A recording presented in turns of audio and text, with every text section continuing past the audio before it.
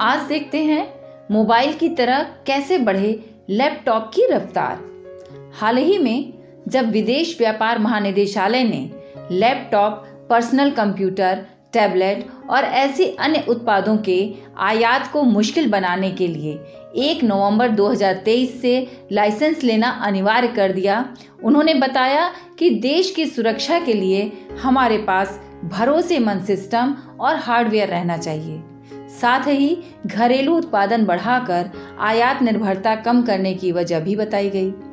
वाणिज्य मंत्रालय के आंकड़े बताते हैं कि वित्तीय वर्ष 2022-23 के दौरान भारत में कुल 878 करोड़ डॉलर के कंप्यूटर आयात हुए। जिनमें से बड़ा हिस्सा, यानी 533 करोड़ डॉलर तो सिर्फ़ लैपटॉप और टैबलेट पर ही गया है। उसमें से भी 410 करोड़ डॉलर का आयात सिर्फ़ चीन से हुआ है। मतलब कुल आयात का तीन चौथाई से ज़्यादा हिस्सा चीन से आया है। शायद यही सबसे बड़ी वजह है कि भारत सरकार इस आयात पर लगाम लगाना चाहती है। कैसे लगाई मोबाइल व टीवी में ऊँची छलांग? सरकार ने मोबाइल व टीवी के विषय में 2015 में निस्त स्वार्थों को दरकिनार कर साहसिक निर्णय लिया था। उसके बाद भारत में इन दोनों के उत्पादन व निर्यात में जोरदार उछाल आया। तब इनका निर्यात न के बराबर था, जबकि 2022-23 में 1000 करोड़ डॉलर से ज़्यादा के मोबाइल निर्यात हुए हैं, जहाँ 2014 में केवल दो मोबाइल प्लांट थे आज मोबाइल या उसके पुर्जे बनाने वाले कारखाने 260 से भी अधिक हो गए हैं। पिछले वित्त वर्ष में भारत में कुल दो लाख पचहत्तर हज़ार करोड़ रुपए कीमत के करीब 31 करोड़ मोबाइल फ़ोन बनाए गए हैं। यह चमत्कार सरकार के समझदारी से भरे साहसिक निर्णय से संभव हुआ है। यह मेक इन इंडिया कार्यक्रम के लिए बहुत ही अच्छा होगा, क्योंकि इसी सेगमेंट में डेस्कटॉप लैपटॉप आदि हिस्सेदारी महज पैंतीस फ़ीसदी है, जबकि स्मार्टफ़ोन और टीवी में यह सौ फ़ीसदी है। टीवी उत्पादन के मामले में भी अभी हाल में ही कुछ ऐसा ही है। अब देश में बिकने वाले 100 प्रतिशत टीवी भारत में ही बन रहे हैं।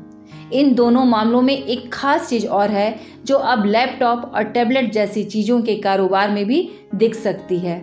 जहाँ सरकार पूरी तरह तैयार लैपटॉप और टैबलेट के आयात को रोकने या मुश्किल बनाने की मुद्रा में है, वहीं इन्हें बनाने के लिए ज़रूरी कलपुर्जों के आयात पर ऐसी सख्ती नहीं दिखती है।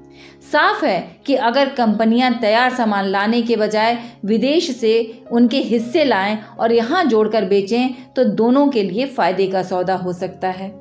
जिन कंपनियों की भारत में फैक्ट्री है, उन्हें फ़ायदा हो सकता है।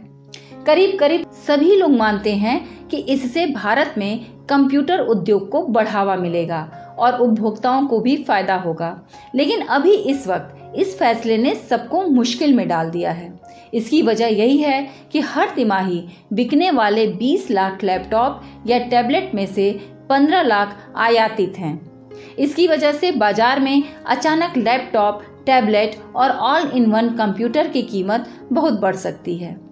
एप्पल डेल एच और सैमसंग जैसी कंपनियों को करारा झटका लग सकता है, क्योंकि वह ज़्यादातर लैपटॉप और टैबलेट आयात करके भारत में बेचती रही हैं। अचानक देश में बनाकर यह मांग पूरा करना बहुत ही कठिन है। ऐसे में सरकार को इनको कुछ मोहलत ज़रूर देनी चाहिए। सरकार को आपूर्ति और मांग पर ध्यान देना होगा, खासकर इसलिए भी कि त्योहारी मौसम शुरू हो रहा है। फेस्टिवल सीज़न में सभी चीज़ों की मांग बढ़ती है। ध्यान रहे कि सरकार के इस कदम से हमारे तेज़ी से बढ़ते हुए कंप्यूटर उद्योग और नौजवानों को परेशानी का सामना न करना पड़े और मांग बढ़े पर दाम न बढ़े। नेशन बिल्डिंग प्रोडक्ट्स चैनल को यदि आप राष्ट्र निर्माण हेतु उपयुक्त पाएँ तो लाइक और सब्सक्राइब करें।